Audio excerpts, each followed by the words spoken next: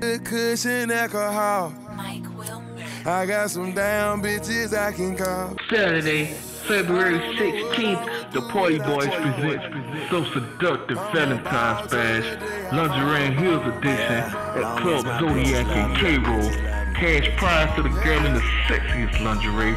Music by DJ Lil One. Doors open at 10 p.m. Ladies free till 11 p.m. And I.M.E. performing that new hit, Go Low.